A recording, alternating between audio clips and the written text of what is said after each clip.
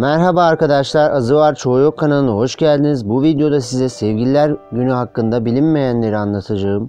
Sevgililer Günü kimilerine göre aşkı ve romantizmi sunar. Kimilerine göre ise modern ticari bir kazanç günü olarak sunulur. Başlangıçta Hristiyanlıktan önce Sevgililer Günü çok eski bir gelenek. Köklerini Roma döneminde Lua Persilia adı verilen 3 gün süren bir festivalden aldığı düşünülüyor. Doğurganlık tanrısının şerefine gerçekleşen festival Şubat ayının ortasına denk geliyor ve baharın resmi başlangıcını müjdeliyordu. Kutlamaların parçası olarak erkekler bir kutunun içine atılmış, kızların ismini çekiyordu.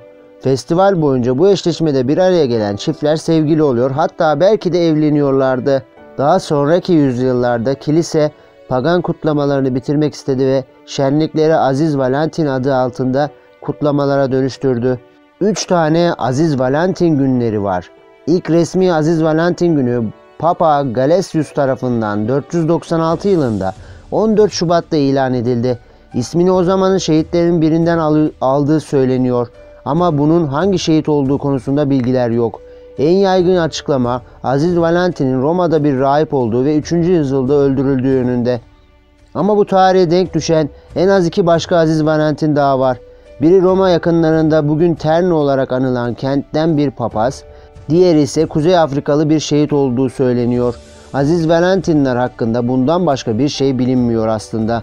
Roma'daki rahip bu üç arasında en fazla kabul edilen olmuş.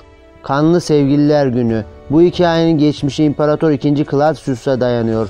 Claudius evli erkeklerin kötü askerler olduğuna inandığı için evlenmeyi yasaklıyor. Valentin ise evlenmenin Tanrı'nın insan için planladığı şeylerden biri ve ayrıca dünyanın amacı olduğuna inandığı için gizli şekilde insanları evlendirmeye devam ediyor. Claudius bunu fark ettiğinde Valentin'i hapse atıyor ve sonra ölüme mahkum ediyor. Hapiste Valentin gardiyanın kızına aşık oluyor ve 14 Şubat'ta idama götürülürken kıza senin Valentin'in imzalı bir aşk mektubu gönderiyor.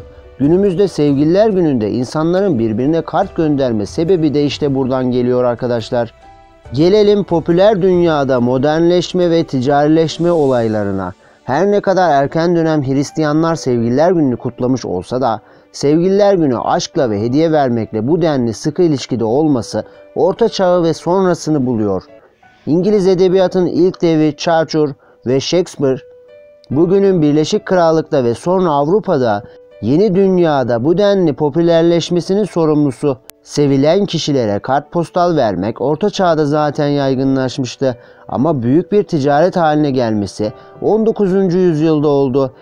Endüstri devrimi, kartpostalların fabrika üretimini mümkün kılınca 1916'da pek de bilinmeyen ABD Missouri'de Kansas merkezli Hallmark kartları şirketi seri üretime geçerek kutlamaların şeklini hemen hemen bugünkü haline almasının sebep oluyor.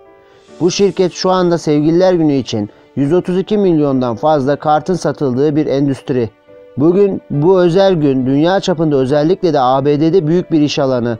Bu özel gün hem dini hem romantik hem de ticari özelliklere sahip. Bazılarının dediği gibi tıpkı aşk gibi.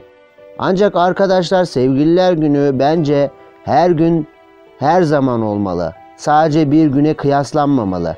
Arkadaşlar videomuzun burada sonuna geldik. Videomuzu beğendiyseniz abone olmayı, yorum yapmayı ve like atmayı unutmayın. Hoşçakalın, kendinize iyi bakın.